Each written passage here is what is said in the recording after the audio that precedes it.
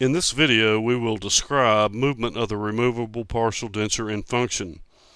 A basic understanding of these motions can assist in partial denture design and make sense of the various components and their role.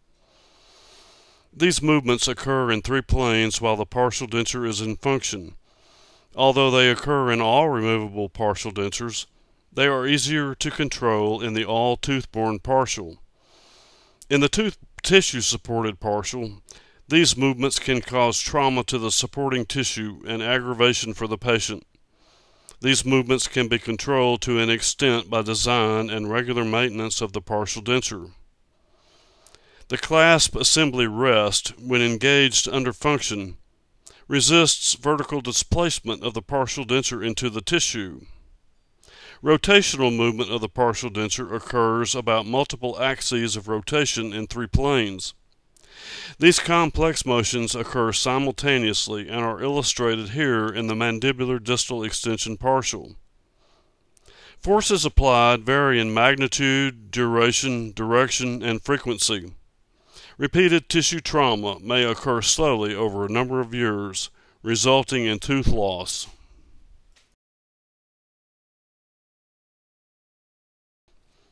Movement in the sagittal plane is seen as an anterior-posterior rocking of the denture about the fulcrum line. The fulcrum line is an axis of rotation passing through the most posterior abutment on either side of the arch. This may pass through any rigid portion of the clasp assembly contacting the tooth above the height of contour. It is most easily envisioned as passing through each rest.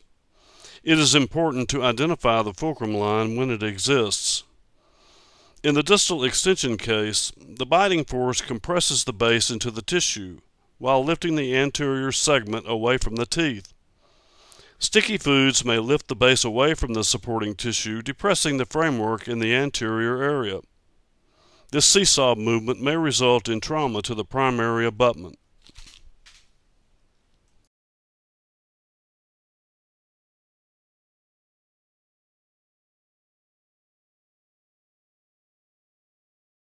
The illustration demonstrates movement in the sagittal plane.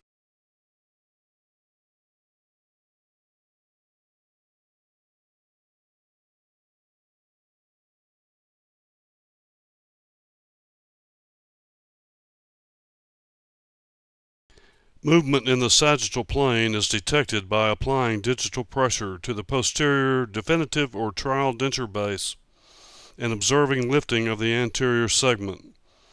The extent of the rocking depends on the quality of the supporting tissues, but can be limited by using well adapted bases, which are extended within physiologic limits.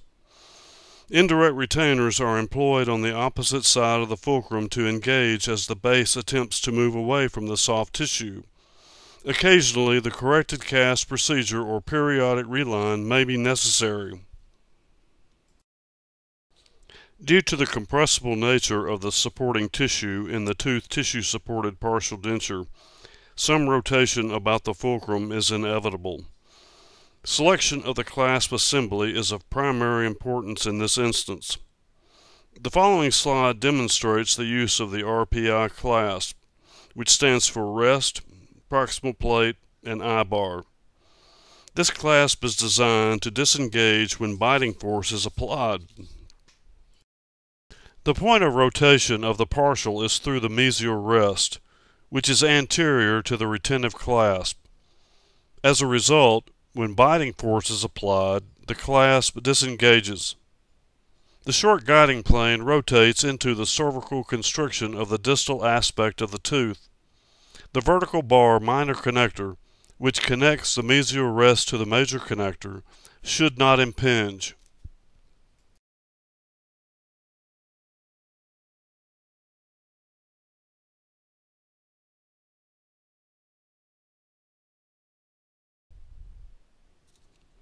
Movement in the sagittal plane is the easiest of these motions to detect clinically.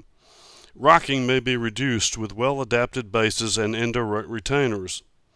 Guiding planes should be short, or proximal plates relieved in the gingival one-third to prevent binding when depressed. Rests are placed on the side away from the edentulous area. and clasps should not apply undue stress on the abutment. Reciprocating elements must be carefully considered to prevent establishing the fulcrum line through the distal aspect of the tooth. This can most easily be avoided by using the vertical bar minor connector and short proximal plates. The number of posterior teeth should be minimized, as should the width of the occlusal table. Sharp cuspal anatomy increases the chances of interferences to centric and lateral movement. Movement in the horizontal plane is most easily described as fishtailing, as seen in the illustration. This movement may be difficult to detect clinically, but microluxation of the abutment over a period of time, especially with premolars, can cause premature loss of the abutment. This motion may occur whenever a patient closes, especially if there are interferences to closure or lateral movement of the mandible.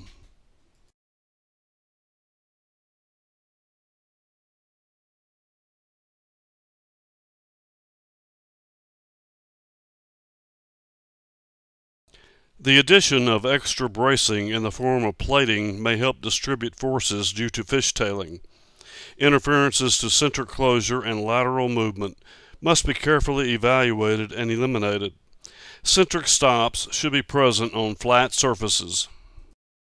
Movement in the frontal plane has been described in two forms. In both cases, the base rotates around an axis passing longitudinally through each side of the mandible. In the first illustration, the base may rock around the ridge, which may occur from using a stress breaker type base attachment or a weak major or minor connector. Another is commonly noted when one side of the partial dislodges when pressure is placed on the contralateral side. This could be due to a framework that is not seated passively or inadequate retention. Lever forces are more favorable for the retainer the further away from the dislodging forces. It is therefore recommended to place retention as far posteriorly as practical. Clasping is more efficient if the retentive area is on the side of the tooth facing the edentulous area. Clasping of multiple teeth is preferred over too much retention on one abutment. The embrasure clasp should be considered to clasp multiple teeth.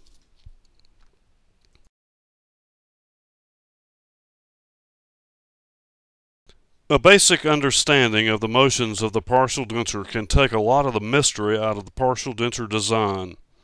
Limiting these movements may prevent unnecessary trauma and patient dissatisfaction.